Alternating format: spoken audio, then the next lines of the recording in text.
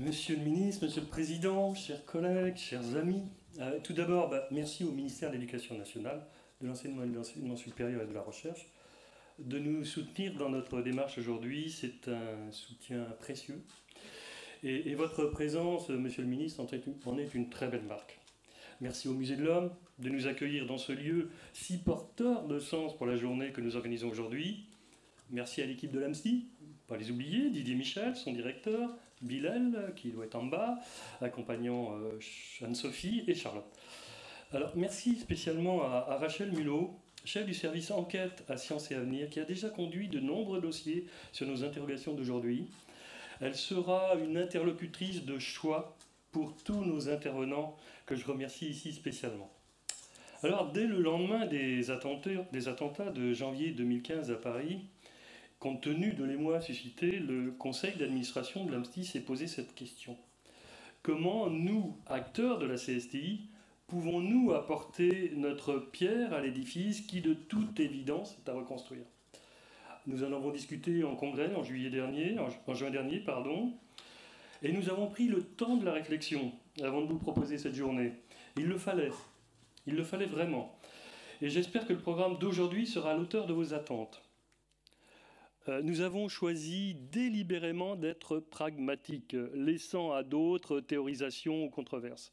Pragmatiques parce que nous sommes tous confrontés, à un moment ou à un autre, quelquefois violemment, dans nos activités de médiation, aux croyances, d'où qu'elles viennent.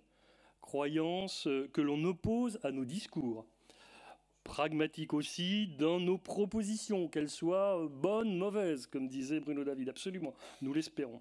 Et à l'issue de cette journée, nous vous proposons de continuer, notamment de continuer ce travail avec les territoires, car il faut se fédérer sur ces questions. Et qui peut le faire mieux que l'AMSTI comme on le verra, notamment ce matin, l'enjeu se situe au plus près de nos publics.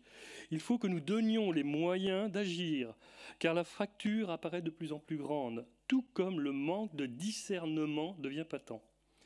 Il faut redonner à voir cette science qui permet de comprendre notre environnement, de comprendre nos origines. Il faut montrer que la science nous accompagne dans notre manière d'être, de vivre, de communiquer aujourd'hui. On ne peut pas profiter d'une partie de la science et en rejeter une autre. Donnons aussi à voir comment les sciences se construisent, s'articulent, évoluent. Faisons de la science un récit et racontons son histoire.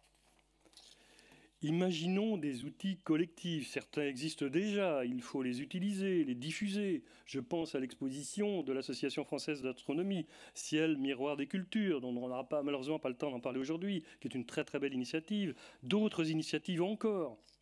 Alors vous êtes nombreux dans cet auditorium.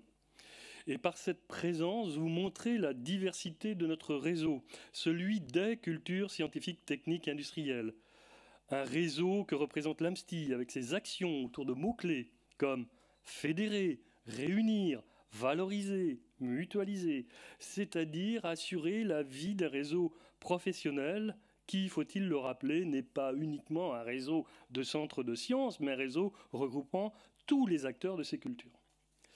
Nous avons sans doute aucun doute à adapter, à réinventer nos outils de médiation en pensant ensemble, pour agir ensemble. Les enjeux sont bien là, dans l'évolution de nos métiers de médiateurs, de penseurs, de partageux de connaissances et de savoir. Monsieur le ministre, vous nous fournissez des outils. Le rapport de l'Alliance Athéna, recherche sur les radicalisations, que l'on vous a remis le 3 mars dernier, pour nous inviter, nous les médiateurs, à s'en emparer et à se rapprocher des, des des sciences humaines et sociales le rapport sur les sciences participatives le 4 février dernier, pour faire évoluer le cadre de l'implication citoyenne, de l'engagement citoyen, pour reprendre un terme de la recherche et de l'innovation responsable dans le programme européen Sciences avec et pour la société, programme dont l'ANSI assure euh, l'animation. Le rapport de notre collègue Laurent Chiquano sur le numérique et les opportunités qu'elle nous procure pour partager les cultures scientifiques, techniques et industrielles.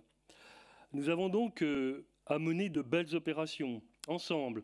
Muséum national, muséum en région, centre de sciences, musée technique, université, chercheurs, établissements de recherche, associations d'animation scientifique, collectivités. Nous avons le savoir-faire et la créativité.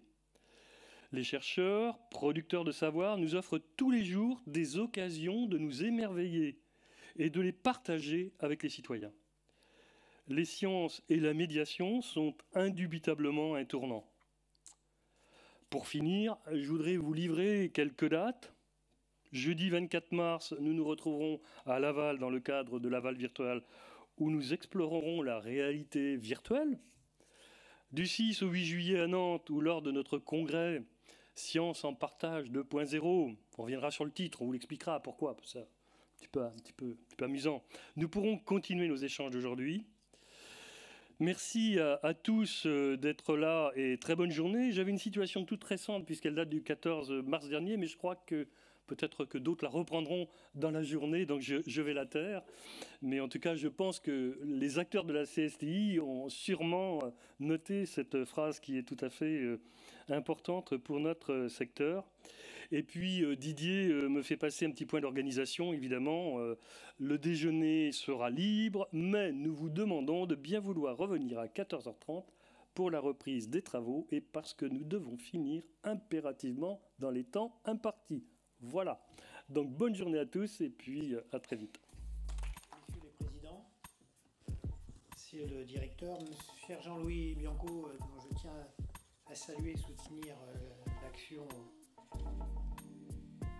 au sein de l'Observatoire de la laïcité, entre